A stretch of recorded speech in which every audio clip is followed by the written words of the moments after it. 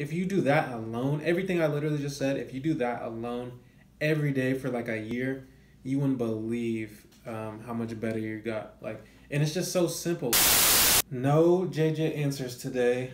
Um, I just want to talk a little bit about how to practice and like what type of mindset you need to be in because I feel like I get a lot of messages and um, not a lot, but I get enough messages to know that there's like a theme among young people that they're pretty impatient with their practicing. Like a lot of people think like especially like when I'm teaching something, if I have a group of kids like if I show them something and it doesn't work in the first two tries, like this doesn't work. Like that's not how it works for real. And I want to talk a little bit about that.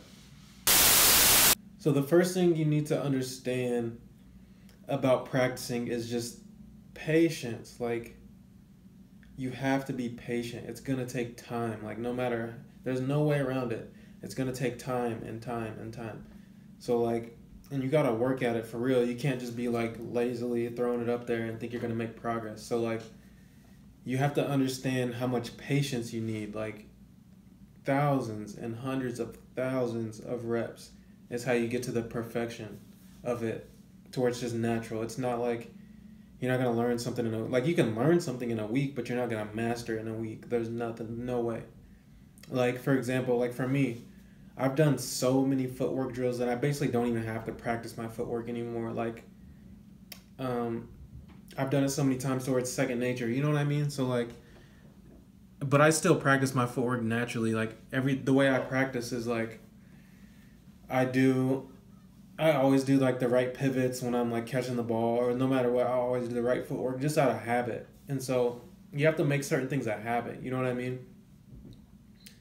And so when you're practicing, you have to understand for number for the second thing besides patience. Number two is like don't try to don't try to practice everything in one session like what i see a lot of when i go to the gym um, or when i'm just evaluating is like people will they'll shoot a three pointer then they'll get the ball back and then they'll do a layup and they'll get the ball back and they'll do like a crossover step back and then they get the ball back. And they'll do like seven dribble moves into like a floater and then they're back at the three point line doing a crossover jumper. And like it's just random sporadic stuff. Like there's no structure to it. There's no routine. There's no nothing. Like they're just out there doing something. And so like it might seem like and i see a lot of the trainers doing the same thing and they're they're kind of teaching you to practice to practice the wrong way and so um, what you have to do is you have to structure your practice routine so like what I like to do is like I start off with ball handling. So like I'll do ball handling like up and down the court, um, just front through the legs in and outs, all that stuff, um, in like a lot like intense, right? Both hands. And so after I'm done with that, then I'll do, I'll go into layups. So like I'll do the Kyrie drill, which is formerly known as Mikan drill, but I call it Kyrie drill now, um, so you guys can like understand what I'm talking about. Layups. Um, do like do like your regular layups, make ten. Um, left hand, same thing, no backboard, um, high off the glass, floaters, um, reverses, um, all that stuff. You know what I mean? And and I do it to where it can't touch the rim on any of those. And so um, I'll try to do like maybe five or ten, and it depends how good you are. Like sometimes you might have to start off with like three each. They got to be perfect because it might take you a long time to make it without it hitting the rim. But once you can do it consistently, then you can do five, and then you can get to ten, and it, it goes quick. So um, so that's how I kind of warm up, and then immediately after that, I get into form shooting. Um, around the around the rim, I do like I do 50 swishes. So I'll do right in front, I'll do 10 swishes. Then I'll go to the side, 10 swishes. Um, at a, like a diagonal angle, 10 swishes same on the other side, and then the middle, but a little farther back than where I started, 10 swishes. Um, and then I'll do like around the world, and then I'll go into like free throws, just set shooting. I'll do set shooting the whole thing until I get to set shooting with the threes, um, or whatever your range is. Like, do not force your range. That's that's very important. Like, if you can't shoot threes, just don't shoot threes. You'll get there, but go to a point to where it's kind of hard to shoot from there, but it's not messing up your form and you're not forcing it. So it still feels natural, but it's hard to make it. So that's like where you're. That's like the point of where you get better at. And so um, whatever that point is for you. So like I like to go back to threes, and I'll go back to college threes, um, all set shooting, and then after that I get into my one dribble pull up, um, one dribble pull up the other both ways. Uh, a little bit off the backboard too. Sometimes I do all like some days. Some days I go in there everything off backboard, um, and then I'll do my one dribble pull ups, or from the three I like to do pump fake, and then I go to the side step or whatever.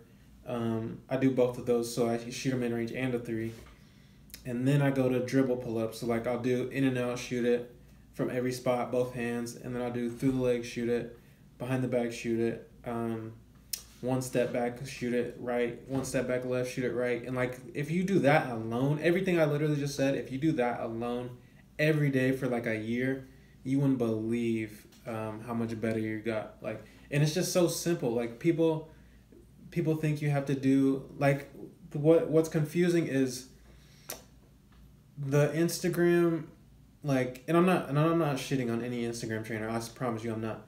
But I'm just telling you like how people are getting confused it's because they look on Instagram and they see a one minute clip of a workout and they see kids doing like seven crossovers in and out, spin move through the lane, and they think, okay, this is how I gotta work out. But what you don't know is that stuff really don't translate that well. Like, there's no, there's no mastery to it. You know what I mean? Like, like how many times are you really gonna do that in a game? once? Oh once every nine games? But i guarantee you you're to be standing there and somebody's to throw you the ball and you're to shoot it. You're to do that every game. So if you can't just catch and shoot the ball then like you don't need to go any further than that. Like catching and shooting is the base of scoring. And so once you master that then your counter to catching and shooting if you watched uh, i don't know how many videos ago i talked about how to how to add a scoring package um, this is the base i'm telling you the base catching and shooting. Once you master catching and shooting, then you catch it, pump fake, one dribble, pull up. That's the counter to that, both ways. So like if you literally master those two things, I promise you, I promise you, you will score with ease. Like it's not even funny. Like the layup, like what I just said, handling, layup, warm up, every layup that you can think of, five each hand makes perfect. Um, catching and shooting, starting close and inching your way out to your range, and then pump fake one dribble pull ups both ways. Like if you can do that alone, if you can master that alone, I promise you you'll be a, great scorer. And then after you after that point is when you start to add in other things like and if you play basketball enough, you're gonna have moves. So like this isn't it's not like I'm saying don't practice any moves. I'm teaching you how to just play the game. Like because nine times out of ten you're not going to be the man on your team you're going to have to learn how to play off the ball and 90% of off the ball is catching and shooting or just making a quick decision so if you can't so if you can master those things then you can start to like because if a coach sees you consistently making catch and shoots consistently making your layups consistently doing pump fake one dribble pull-ups you can knock those down then he's to go to you then that's when you can start expanding your package so like you can't even get to the point of being the man if you can't be a role player first. Like I started off as a role player. I was a shooter as a kid. Like I could catch and shoot as a kid. That's that was my thing. And then I could after I started doing that well, um, my screen cut off. I use it as lighting a little bit. Once I started doing that well, then I started getting the ball, and coaches like score more. People were like shoot the ball more, and so then that's when I started adding on my package. So um, don't add on to your package until after that. Okay, like, and then once you start to add on, add a go-to move, whatever move you like. It doesn't matter. It depends on your position, obviously. Like, if I was in the post, I'd recommend a jump hook, like just an over-the-shoulder bam, and then a counter spin. Um, I'd recommend that or up and under. But if you're on the wing, like maybe like a hesitation pull up or like just a simple crossover or like throw some jab steps in, like master your triple threat. I didn't even mention that. Like literally, all you need is triple threat, catch and shoot um, drive each way finish, drive each way uh, pull up jumper. Like that alone, you'll be fine. I, you, like, you can be a professional off of that only. Trust me. So um, that's all I really wanted to say. Like I hope that helps. Um, master one thing at a time. Be patient. Like, and yes, you're gonna have to do the same shot a hundred times in a row. Like, if you can't handle it being tedious, then it's not for you. Like, you're not gonna be that great. So, fundamentals is where it's at. I'm telling you. I still haven't. I'm about to post that video of Lionel Hollins too after I upload this. So if you watch this, be on the lookout for the next video. Like he, he's an NBA coach. He talks about it. So I got to chop it up. So because some of the stuff he talks about, um, it's it's kind of irrelevant, and so I kind of want to cut that out. So I'm gonna chop it up for you, and I'm gonna post that. But that's all I really wanted to talk about today. I was gonna do a call-in show. I completely forgot. I did. I kind of. I didn't really forget, but I forgot.